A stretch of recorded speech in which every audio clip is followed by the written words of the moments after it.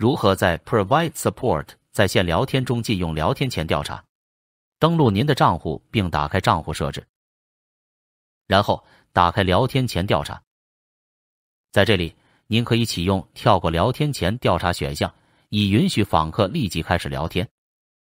您还可以启用或禁用聊天窗口加载后立即开始聊天的选项。